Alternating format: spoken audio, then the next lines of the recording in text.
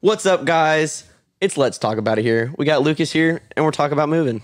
Howdy. Yeah. Yeah, yeah. It's good to have you here, Lucas. Good to be here. Good for you guys to be here with us. Uh, as Clayton just said, we're talking about moving uh, to to to kind of get us started off. I'm actually kind of fascinated with everybody in the chat there. Let us know how many times that you have moved, like got up and moved, uh, as in uh, we're we're leaving and staying in a place uh, for.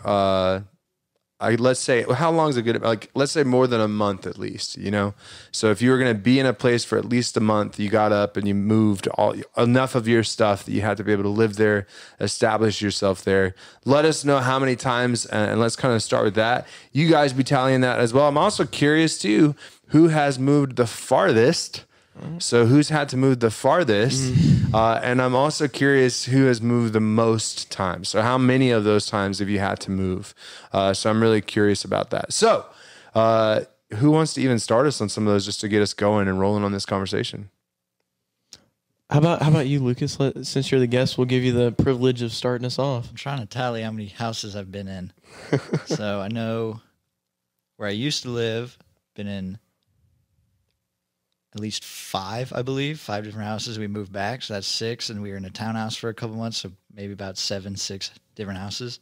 Wow. So, mm, probably seven because we lived here in Texas beforehand. So, So where where all have you lived like throughout your entire life? so from like believe one to three, I don't really remember. We were here, I guess, more Sugar Land area here in Texas, and then we moved to Doha, moved around there a lot. Help help all the viewers out. Where's Doha? Yeah. Qatar, Saudi Arabia, Middle East. That The Middle East. All right. So, all right. So wait, you went from one to three in Houston and then to Middle East? yep. And Wow. All right. I don't. And I bet your mama was a wreck to be taking a three year old to the Middle East. Uh, I don't know if I was the greatest mover, but yeah. And then we moved, so we were there for seven and a half years. We came back here when I was going to sixth grade, and we lived in a small townhouse for a couple of months, and then we moved into our house that we are still in today. Oh, okay. Gotcha. Gotcha. Gotcha. Mm-hmm. All right. So we have the distance traveled at least right now is Lucas. So all the way See over if I can there, figure out how far that is. all the way over there in the Middle East. So that's definitely a long ways to travel and to do it twice, really, to go there and then to come back for sure. How about you guys? When you think about moving, how many times, how many houses, how many, how distance traveled? I've moved once in my life, and I it was less than ten minutes. Less than 10 minutes It was away? right down the road. Nice. Nice. Okay.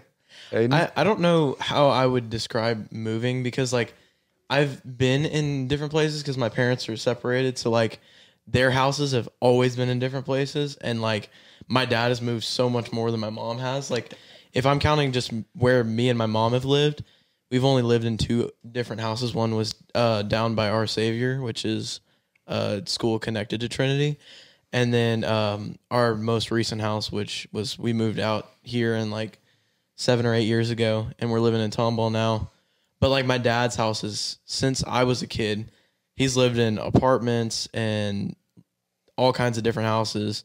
So like I don't know how I would yeah, yeah, yeah. Well, how many times that. did you have to like pick up all your stuff and live with your dad for at least a month? Like, many- um I've done that I think I've only done that like once and it was a summer a long time ago. Okay, okay. So that's that's the kind of thing we're talking about, Yeah, though. yeah, that that idea of moving to, yeah. And so for me, when I was your age, at least, so when I was sitting there at the end of my senior year, I had never moved. I was uh, like I was the third of four, and I think once you're once you become like the lower or the younger children, like you don't your parents don't move as much. So I'd actually be interested. Was Meryl alive when y'all moved to the house y'all live in? Yes, Okay. we were very we were both very young, but we were both alive. Okay, okay. so that was the thing. Like I remember actually, like I was kind of the new house celebration. Like they moved into a new house, and then oh, what do you know? We have How a baby. Yeah. uh, so uh, there's like a picture of my parents, kind of in, when our home was pretty uh, new for us at least, and so it was really interesting. But yeah, I'd never moved anywhere. I'd never gone anywhere, and part of that was actually because. Uh, my mom, my mom uh, was an Air Force child, uh, so she started actually. You know where my mama was born? Florida. Good guess, because that's where she graduated high school. She was born in El Paso, Texas. Yeah, so she was born in El Paso. Uh, moved before she was two years old. Uh, I believe they went up to Kansas next, so Topeka, Kansas, uh, and then went over to Japan. Uh, so we were in uh, Topeka, or not Topeka, uh, not Tokyo either. I can't remember where they were in Japan, but they're over there stationed in Japan. I remember it's Jefferson High School, wherever Jefferson High School is on an Air Force base in Japan. that's where they were. Uh, I I knew they could see Mount Fuji out the back of their window. Uh, but uh, then they came back to the states and they were at Scott Air Force Base for a while. They're outside of St. Louis. Uh, I, I believe there might have been a brief moment in either Indiana or Illinois, or at least a lot of travel there. Uh, but then my, my mom's uncle died uh, down in Florida, and it was my my grandfather's only brother. So he was like, "We're gonna go down there to take care of the family." He had a lot of kids, so uh, and most of them were were grown or in high school or older. But he said, "I got to be there for my brother's kids." So they moved down to Tallahassee in the Panhandle, and that's where they settled, and that's where they kind of that's where my mom graduated high school. Uh, but once she started, she started freshman year at one school, went to sophomore year another school, and finally got her junior, her senior year uh, in at Leon High School in Tallahassee. But the reality was, uh, when I, because I asked her, we were kind of mad. Like, everybody else gets to move. Why do we not move? Blah, blah, blah, blah, blah. And she said, because I did so much. She says, I did not want you guys to have to endure picking it up and moving like I did. And she was, she was so challenged by, by moving that many times that she, to this day, hasn't left Warner Robins and hasn't left that house that I was born into. So it's kind of interesting how much of her life she's kind of spent there. But all this to say too, and you guys have, uh, you, I mean, I saw Jeremy said three ish times. So I'm curious who's moved the farthest. I mean, we'll, I can dive into more of my stuff. Uh, I'm at 8,000 miles. eight thousand miles. There you go. So let's far. see, let's see who else out there. I'm sure there's some good stories out there. People that have uh, traveled a good distance or moved a good distance. I won't get into my later stuff. I kind of want to start with this question though. You guys are the ones that came up with this topic of moving. Why are we talking about moving? I feel like moving brings in like a bunch of different feelings people have. So like there's always those happy feelings like okay, you're moving to a bigger house, the same area but you're moving to a bigger newer house. And then there's those times where like you're moving across the country or across the state. And it's like how does that affect kids that like how does it stretch them apart, stretch apart like their lives as kids? Sure, sure. And there, and that was one of them. But like, I also remember you guys sharing with me another very, uh, very practical reason why we're talking about moving. Well, I think a lot of it was because we were kind of on that that course to college, Mm-hmm. and so we we started. We talked about graduation last week, and now we're talking about moving because that's kind of the next step. Yeah, exactly. So, so it's kind of interesting for us, right? Because there is that reality, and let's talk about that reality. That's a that's something that families always have to navigate, uh, and uh, but also this reality that many of you guys are looking at that I might be moving for the first time or the most uh, significant move I'm about to make by going off to college or something like that. So. Uh, I think so. I'll, I kind of, I guess, I'll dabble a little bit into my my story a little bit more. Right? I didn't move anywhere for 18 years. Uh, but then let's just look at the last 12 years. uh, and I know I've tallied it up at some point. I know over nine years I moved more than 21 times. Uh, it was just a lot, you know, from the idea of, again, packing up to move to go to college, but then packing up to move to come home. Uh, and for me, part of the reasons why it became so many times was not just the typical move to college, come back home, uh, but then I had grad school that was mixed in there. And then I had camp when I worked those two summers in Maine as well. So I would actually come home from college for a month. So move all of your stuff and then pack all of your stuff to move to camp for a month or month and a half and then pack all your stuff or have all your stuff packed at home already to move back to college. Like there's a, those two summers I remember my dad hadn't seen him all summer long at the Atlanta airport. Mom's driving, dad was driving my truck, and uh, he jumped out, handed me the keys. Good to see you. And I drove to football camp because like I- camp was starting the next day. It was that kind of a transition. And so, and then of course, I chose a profession that historically uh, moves around a good bit, right? Pastors can be called at any point uh, to be able to go and travel, and it can be wherever. I mean, just even the journey to become a pastor, right, was go to seminary in St. Louis, which was 12 hours away from anything I'd ever known. And then I had uh, uh, Green Bay, Wisconsin is a vicarage. So that was seven hours from St. Louis, which was the closest thing of anything I'd ever known. And then God sent me to Texas, and that was 13 hours away from anything that I'd ever known. So it's just a kind of an interesting journey. So when you guys think of moving, what questions do you guys have, or what kind of a conversation do you guys want to have about moving? What what is the most important part about moving? Like like what do you think? What do you think is the most important thing to remember about moving? Like what is like emotionally? Because I feel like I feel like a lot of people think about like the actual process and they don't think about the Oh, emotional sure. toll that it's going to take mental, on them. yeah. Well, Lucas, what do you got on that one? Well, emotionally, definitely, because you know when you're in a certain place with for a certain amount of time, you know, you build relationships with people, and then you know eventually you kind of, especially moving like where we did for eight thousand miles away. Now you you're never going to see those people again. So like a lot of those people that you became friends with, you know, you're stressed out. You're also moving to a whole new scenery. You have no idea what to expect. You know, they're from you know Doha to here, completely different situations. Day to day life is very different, and so it's a lot of that. You know, it's stress. You know, anxiety. You don't know, but there's also a little bit of excitement. You know, because sometimes moving on to newer things is always fun to uh, experience but emotionally definitely i mean it's kind of a roller coaster there's got you know your pros and cons Yeah, and so this this kind of sorry, I just saw a comment come up, and this kind of ties into uh, a little bit of that. This question of what's the most important thing to remember emotionally about um, moving or things like that. So, Lexi mentioned, uh, I don't know if you already, but how do you cope with moving from your family, uh, who you're very close with? So, so I think that that speaks to that emotional piece of uh, of well, and at least there you're moving with your family, but there's that that emotional piece of leaving people that you work close with that you feel like you're never going to see again. It was actually kind of uh, interesting. The seminary uh, live streamed their uh, graduation this year, their commencement, and I watched it, and it was great. It was nostalgic. It was really cool. But one of my uh, professors. And, and I love this guy, and he's so smart. It's not even funny. Uh, but he's like, "Congratulations, guys! See you at the eschaton." And if you don't know what the eschaton is, that's when Jesus comes back. So it's kind of like, what the heck, man? I'm like, it's very much say it's a theological way of saying, "Hey, I'm never going to see you again until Jesus comes back, until the end of the world." But it was just kind of fascinating.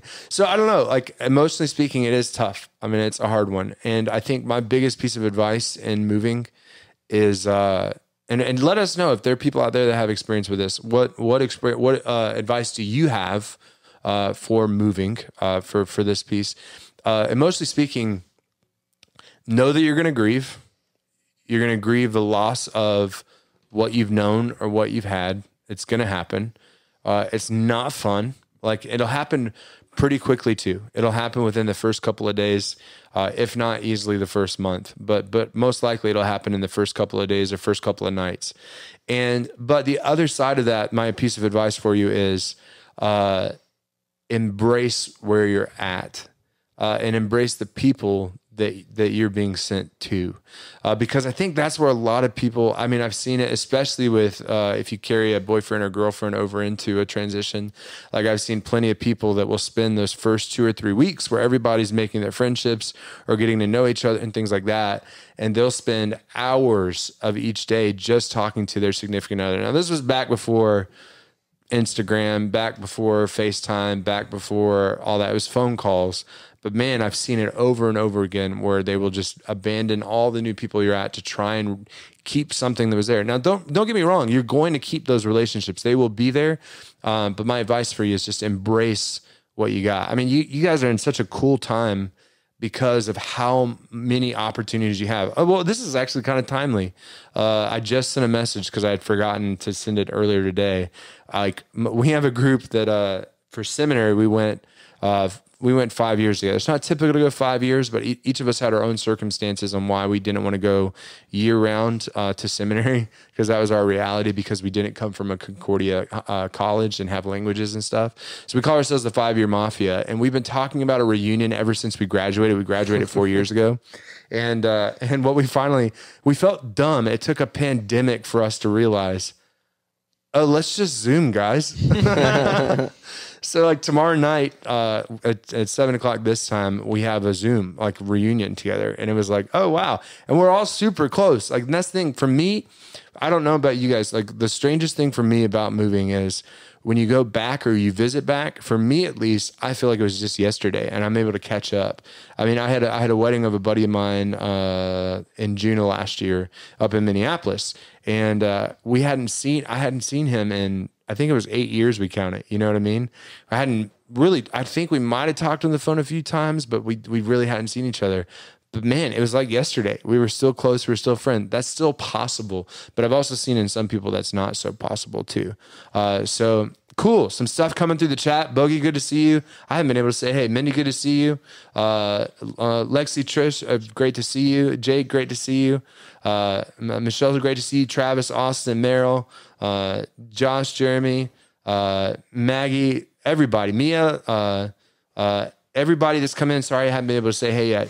Uh, but yeah, Michelle's definitely everyone. Michelle's definitely with us there, embracing the excitement and the newness. And and, and again, because I think I think your past can drag you away from that, and it, and it's a mental block, and it is so hard. But that's a big one. Uh, isn't it weird going from Trinity to Concordia and growing up with basically the same people uh, for your whole life? Now, and that's the. I mean, for so I went to, and I'm talking a lot, guys. I'm sorry. So definitely butt in whatever you want. But like I grew up going to, well, I was public school my whole life, but you you in in the public school system, you know how there's feeder schools, right? Mm-hmm. So this elementary school most likely feeds into this middle school, most likely feeds into this high school. And I remember the hardest one of those transitions was middle school to high school because my, our middle school split because we were right in between the high school I went to and the other, an- another school in there. Um, and that was a really hard one. But for the most part, like my best friends, or my very best friend, like we had been in class together for 12 years together in public school. Like it was very rare that we didn't have a year where we had classes together. And so that was really tough. But again, just because you're going different places or different journeys doesn't take away from what you've shared together. Uh, and it also doesn't mean you have to pull away from where you're going or not embrace what's coming at you too. All right, I've talked a lot. What do you guys have to say? Lucas, what do you think is the the easiest part about moving? Uh, I think personally, it probably varies for a lot of people. But for, the easiest thing for me was kind of just kind of looking forward to the new things because I know it was a little bit simpler moving back here because I had a few people when going to Trinity that I knew, so a little bit of familiar faces, uh, kind of like what we were talking about. You know, you have past relationships, but I mean, you know, it's easy to get caught up in a lot of this stuff around you. But I mean, I think it is important to focus on the things that you are going to experience that is new and try not to latch on to all the old stuff because as we already said you know you'll get kind of bogged down trying to think of what was and it's you know better to embrace what is coming Right. Yeah, and there's a piece of that, right? I mean, I mean, well, and I'll, I'll try and see if you guys have some thoughts on this one. Why is that so critical? To embrace the new.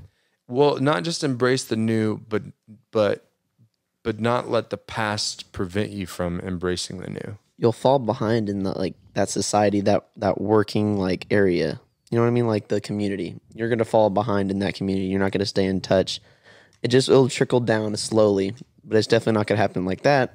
But you have time to once you move and you get those connections, you got to make those when you have the chance. Yeah, yeah, and and that's and that's kind of thing is uh, here's the other thing you'll notice, uh, especially if you're a part of. Well, I was a part of a sports team, like so I, I played college football, and it was just funny to watch how many guys were so competitive about how it was done where I'm from. Or making sure people knew, well, I'm from so and so, and this is what we did, and this is my friend, and we knew each other, and blah blah blah. It just becomes kind of defensive because I was kind of like, well, I'm from Warner Robins and I don't know anybody here. Like Lee's name, nice to meet you. You know what I mean? It's kind of like being able to embrace that and not let that stuff kind of fall behind. We got a good question in the chat.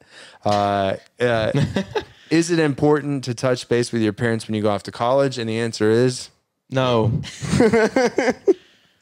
yes. we Yes. need money Yeah, exactly. I was about to say. We called every day. if for no other reason than if you want to be able to eat, you're going to continue to connect with your parents. And so, how often uh, should you call mom and dad? What do you think the answer is? once a month. Uh You can every every week, at least a week, at least every week. you can constantly text them though, but like, Yeah. do you have to call Not them the though? same thing. Not Why- the same thing. Okay, that's just the difference in generations. You got boomers, and then you got the, I'm the you right generation now. of power, It is not. and it we have the, the So it's actually the- when you say it actually is the difference in generations, and it's not my generation and your generation; it's your generation and your parents' generation. So your parents, a phone call would be far more meaningful to them than you texting something. I'll write them a letter. because every day right now they get to hear your precious little voice and they don't get that as soon as you Mm. It's move so away. precious though. It is. And here's the thing is they miss you, they love you, they want it, they they've been prepping for this moment. They're so excited for you to become an adult and they want to hear about it. How are things going? How is who are you meeting? What's your new life? And to not be a part of that at all is is like is like you've died, you know. So don't die to your parents. Yeah. So and I will say this at least for your parents. this is this is true to my this is true to my my my family at least. What was important was that I call mom once a week. my dad was very much like, "Oh, I didn't know that. I didn't know that I could." And like my dad was not one that was sitting there on the phone with mom listening in on how it's going. I know there are dads out there that are like that. That is awesome, uh, and I'm certain that like if on you're the holidays. if you're a girl like that, that will definitely be. what Dad is very concerned about how you're doing and things like that. But my dad was very. I was the third one to go off. He knew he'd be seeing me at football games and things like that. He was far more interested in how that was going to go. Uh, but, but actually, my mom was too. She was always wondering about football because her dad was a football coach, so it was kind of in her blood. Uh, but yeah, call mom once a, once a week. Pick that day. Sunday tends to be a wonderful day to do it, unless you get involved in an organization that happens to meet on Sunday nights or something like that. So uh, there you go. Just remember you're moving as hard on those who stay behind too. No doubt about that. Well, I, I told you guys this story before, uh, but I don't I haven't told the broader listeners out there. When I moved to college, did I tell you about the summer before moving to college with my mom? I think you. I. I think I vaguely remember this. Absolutely miserable. Yes. absolutely miserable. My, I was sitting there. I'd worked at camp. I love camp. I'm a huge camp person. It's a piece of my heart. If you've ever worked at a camp, you understand me better than most people. Uh, and I was working at camp and I was spending time with them because I was going off to college. I was finally a counselor. I had freedom. Yeah, hey, we're hanging out here. We're doing this. So I was gone all the time. And I would get home and my mom was so mean to me absolutely mean to me. Like she was not nice in the words that she said to me. She was very much like, "Well, where have you been? Well, why are you doing that? Well, you have responsibilities here too." And blah blah. blah. Are you doing this? Are you doing that? And I was like, "I am done with this. I'm so ready for college." Right? That was the way my life was going. So I go, and it's the end of the summer. Camp's over. I'm packing up for college, getting ready for camp football camp and uh, I finally pack up my truck, right? And it's all done. And I look at my mom and we've not had a good summer. and I and she hands me like my graduation gift at the end of the summer because they couldn't give it to me when I graduated. And she says, Here's your graduation gift. I said, Okay, well, the truck's packed, it's time to go. And she starts bawling, crying. I'm so sorry. I've been mean to you all summer. I've been dreading this moment. I know, like, I've had two others go. It never gets any easier. Like, I'm sorry I've been so mean to you. I just wanted you to come closer. And I was like, you got a strange way of showing that you want to be closer to me, mom. Uh, but that was how it went, you know? And so, uh, and, and the, that first move is, is one of the hardest. It never gets easier for parents, from what I understand. It gets so much easier for students, uh, but it never gets easier for parents to have your kids move and go and leave. But man, that that that's a big thing to keep in mind is you're leaving people behind and they miss you and that hurts and that breaks their heart too. Got some comments in there. Gotcha. So, uh, how do you stay in touch with a friend uh, you've been 10 minutes away from since first grade to 10 hours away asking for a friend? What's your advice? What do you got?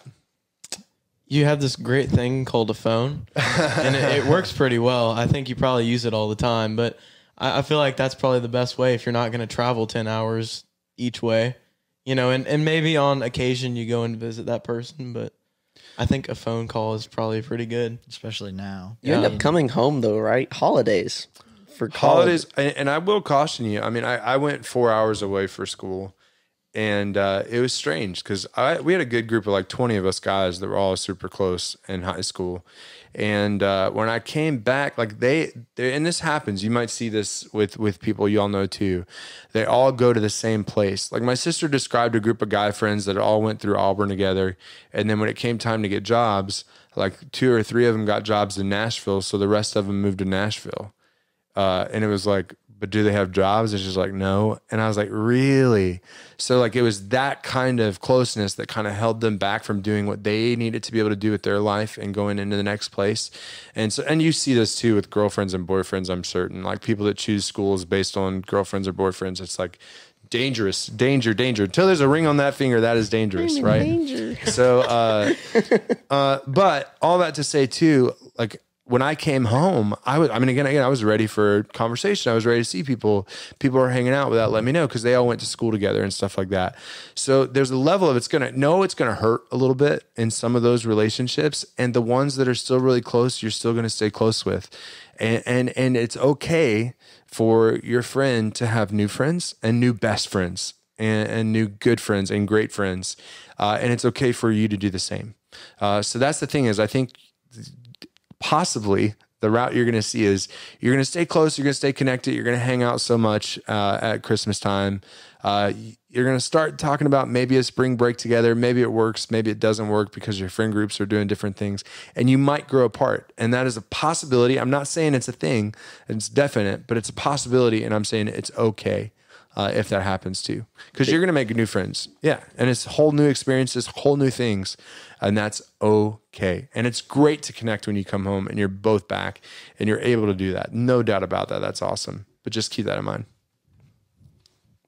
Yeah, I mean, I think it's important to realize that just because you know two people are going two different directions doesn't mean that they have to get rid of like the relationship they built between each other. I mean, because yeah, you're going to experience new things apart from each other, but I think it is important to realize, you know, you, especially with the phones, you can stay connected with someone pretty much all day if you wanted to, and so those relationships really don't have to suffer as much as people I think think they will. I mean, I don't think because I mean, if you're leaving on good terms and you know your best friends going to different schools, I mean, I don't really see a problem why you can't still be friends. Yeah, yeah, and that's the, that's the thing I'm saying is like you're still gonna be friends. You're Yeah. still gonna be on great terms.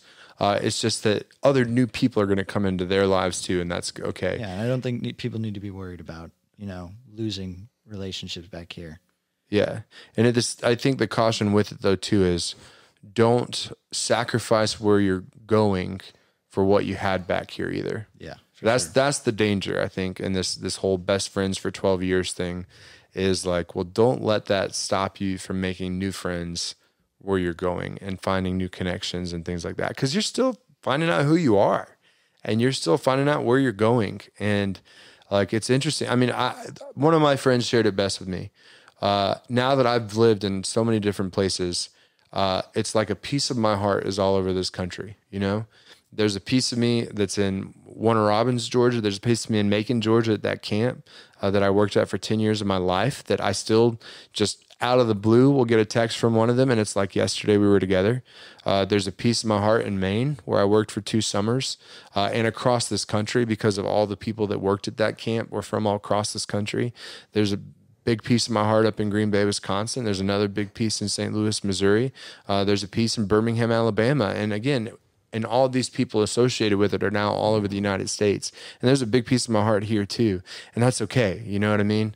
Uh, and it's it's hard. It's hard to navigate, no doubt about it. But yeah. So yeah, people are saying in the chat, moving to college is the best. Big facts, will. Uh, and well, and so you guys, especially that are fresh to it, like how much of this is resonating to you as well. Of those of you that, especially if you went to a school where you weren't with people that you'd known your whole life necessarily. What advice do you have for some people? Because I saw Seth jump in here, and I know that's your experience. So that'd be neat to hear about. And all this to say, uh, I think I've said this before. There's my my second least favorite thing in the world is cat litter. Do you know what number one is? Moving. Moving. Hate it. Cannot stand it. It is worse than cat litter, Does friends. it 22 times. What's up? Said does it 22 times. Oh, I'm telling you, like, And it is Lee so, Speaks from experience. It is so draining. It is so absolutely draining. physically. physically, emotionally, mentally, spiritually draining. Absolutely. And maybe because I did it so many times. You The got Facebook that, friends the all fact over that he says that and he thinks that cats are the devil tells me a lot. Yeah, exactly. Cat cats are little mini demons most of the time. Yeah.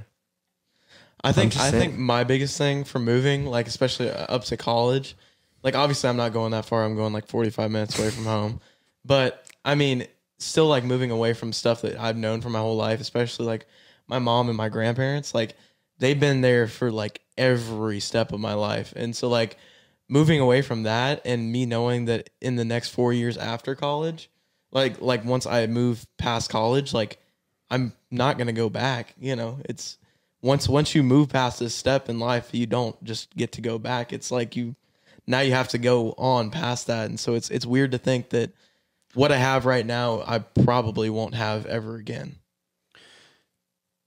Like the same the same relation not necessarily the same relationship, but the same thing that I have with him right now, I probably won't get ever again after this is Well, and it's it's kind of like it's kind of like everything else in life though too, right? So hopefully, right? Hopefully everything's different in a year. Hopefully everything's changing in 5 years. Hopefully everything's changing in 10 years because that means you're growing, you're learning, you're becoming, you're experiencing different things and all these things. That's kind of the hope. But I hope it it gets enhanced, you know what I mean? It gets better, it gets more special. Like again, I think I've told people this before. I did not realize how important my parents were in my life or my family in general until I left them. Like that was the thing that slapped me in the face probably year 1 or year 2 of college was like man, how many wasted opportunities did I have when I was home? Man, how much did I groan about? Oh man, my sibling did this or this or the TV or just stupid arguments. And then now where I'm at now, 13 hours away from anybody I well, blood call family, right? It's tough, man. So so embrace what you got now, but it, it gets it gets so much cooler too down the road. And the relationship you're gonna have with your grandparents, the relationship you're gonna have with your mom growing up and making life decisions and big decisions. And that again, keep them involved because that's part of the joy of it all too. Lee, we, we'll move in with you. We'll, we'll be your family. Don't worry. Yeah, that's not what I said. Again, moving's my least favorite thing, right? Well, you're, not, uh, you're not the one that's moving. We'll but but there's a moving process happening, and that would be pretty tough. 14th. Right. So moving in with strangers is a new opportunity to share the gospel too. Well, like, and I, whoa, that's a y'all are getting me on stuff that I love. so, like, well, uh, let's ask that question so I can stop talking. How does faith inform this topic? How does faith inform moving? Yep. What does faith have to say about moving? Well, well, for you, it, it was pretty obvious that faith had a big impact on your move. Well, I mean, think about even my time in It's kind of college. reason. think about my time in college and going to Maine and stuff like that too, though. So before the pastor thing was official, uh, before the seminary thing was a reality, you know, which was uh, all the way up until spring of my senior year of college. You know, I knew that was where I was going, but it wasn't official till then. How did faith inform it? How does faith inform what you guys are doing? How did faith inform all your moves, Lucas? I mean, a lot of it's kind of a trust process, you know, because you know we're talking about moving into the unknown. Kind of, you don't know what's ahead. So, I mean, faith definitely helped me. Kind of, you know, you're just sitting there. You got to try and, you know, deal with all these different emotions. So, being able to kind of know God has a plan and He's got, you know, everything under control. It, you know, it can definitely help knowing that you have, you know, kind of God to look at and be like, okay, I know you have this under control. And even though I don't know what's coming up, I know you're going to help me through it. So, I mean, but going to college, I think also because it's definitely a different thing because like kind of what we covered going, you know, faith and moving into college. I mean, like we said, you know, you're, you maybe you'll meet someone who doesn't know Jesus and all that, and you'll have an opportunity to share all that, and that'll be a you know a great thing. But it was kind of different for me because I was moving from a place where you know Christianity wasn't the big thing to a place like a private school. So I didn't really get that opportunity to kind of do it like that. Kind of almost the reverse in a sense that I went, you know, I had to almost kind of learn to, you know, kind of Sure. set my anxiety to him. Yeah.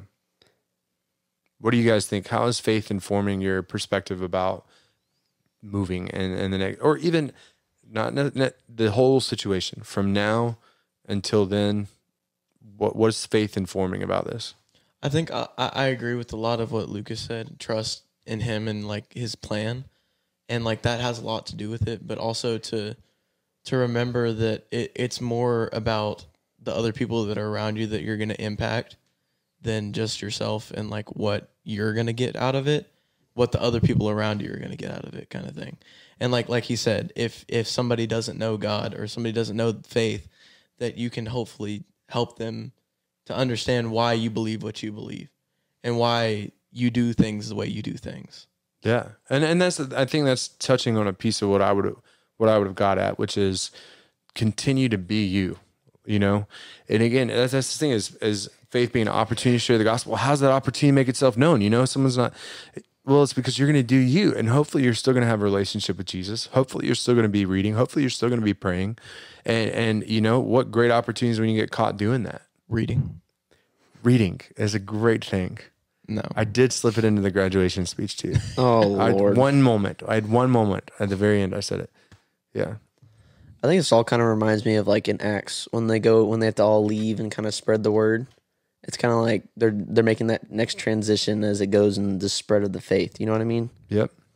And I feel like that's just how it is almost with like everyone's personal life. At, at some point, you're getting pushed off to go spread the good news or something about you.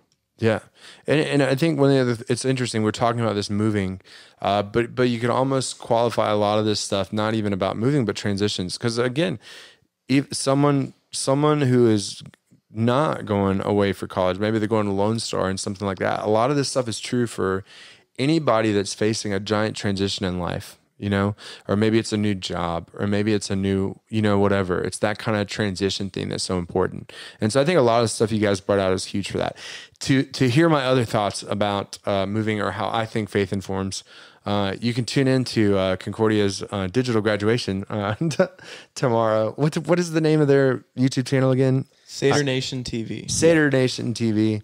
Uh, they'll have it. I, I as a brief message tomorrow. There's going to be a different one, but I think when I look at both of the short version and the long version, like they're they're both kind of giving you my thoughts about what God has to say about your life as a whole, you know, and and a lot of this is that transition piece. So so there's some scriptural pieces from the Psalms in both of them. Tomorrow's from Psalm 139, awesome scripture that's always meant a lot to me since I was in middle school, uh, and and I really do. I mentioned briefly I want this scripture on my wall, like somewhere with like I actually have a plan to like put it on a little frame and then put like the states that I've been in around it, maybe even pictures below it, just as a reminder that no matter where I go, you know this is my reality. But I think I think your word trust, Lucas, was huge uh, for a lot of this too. But also, I think it's faith doesn't just have to speak about moving. Faith has to speak about the the reality of moving. Uh, with that reality of moving or transitioning, faith has a lot to say about right now too. And I, I think that's where I'd kind of kind of leave it is that that you can look at your life right now and see how blessed you are, even with all the struggles, all the junk uh, especially around right now, all the craziness, and you can say, man, I'm still pretty blessed to be right here. And looking ahead, man, I'm pretty blessed for that opportunity too. Any closing thoughts? Awesome. Well, thank you guys for joining us out there in the uh, Instagram world. Uh, anybody listening on these, uh, even years down the road, hopefully we're still doing this, right? At TK Crew students, uh, follow us on Instagram, get informed about some things. Uh, we're going to have uh, an interesting coffee talk tomorrow morning, just a brief kind of time together with just Pastor Lee, I think, or maybe we're talking about it, we're figuring it out to kind of review before we kind of put a cap on our journey in Acts next week uh, as we cover Acts chapter 7. But it's been great to be with you guys. Lucas, thanks for being here, man. Thank you for having me. Yeah, man, it's been great. Awesome. Well, we'll see you next time on Let's Talk About It. See ya.